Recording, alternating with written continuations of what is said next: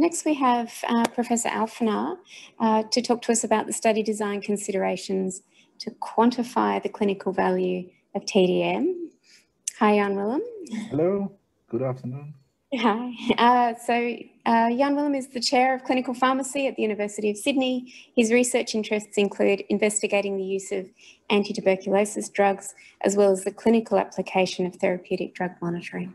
So if you're happy, Jan Willem, I'll pass to you. I'll share my screen.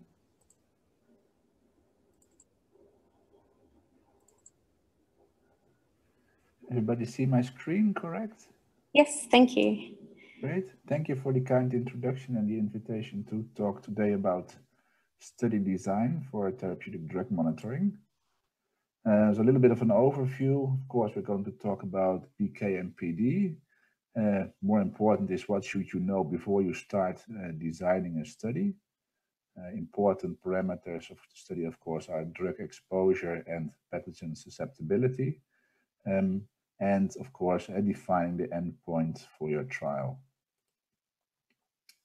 So we all know uh, treatment of an infectious disease includes um, uh, different aspects. Uh, we're looking at clinical signs and symptoms of a patient. We do imaging, do lab tests, uh, collect blood cultures or cultures from site of infection. And based on that, uh, we will decide which drug to select and how to administer either as oral capsules or injection or infusion. Excuse and, me. Sorry, sorry to interrupt, but just think um, the audience might be having a little trouble hearing. So, uh, sorry, would just be a moment. Can you hear me, Susie? Uh, I can hear you, yes. Um, okay. Um, yeah, David Grolman, are you there? Can Are you able to hear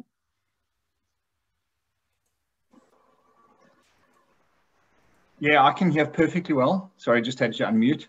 no, that's no problem. okay, so we'll continue. Thank okay, great. Thank Thanks. Uh, so if we've done all our evaluation of clinical signs and symptoms and diagnostic testing and selection of the drug, we of course hope uh, that we will have a happy patient and a happy family at the end. Uh, but of course, we know that, that life is a little bit different. Uh, we have pharmacokinetic variability uh, pathogens may have different susceptibility. Uh, and of course, the underlying condition may affect outcome, especially in, for example, immunocompromised patients. So we have to deal with underdosing and with a risk of emergence of resistance, clinical failure, perhaps mortality. And of course, when we look at overdosing and we talk about toxicity, that potentially resulting in a premature cessation of therapy. Uh, so when we talk about uh, therapeutic drug monitoring, it's not only measuring the concentration as mentioned in one of the earlier talks, but actually doing something uh, with that concentration in the interest of that uh, individual patient. And then, of course, uh, we need that evidence to support therapeutic drug monitoring to convince everybody to actually use this methodology to optimize treatment in individual patients.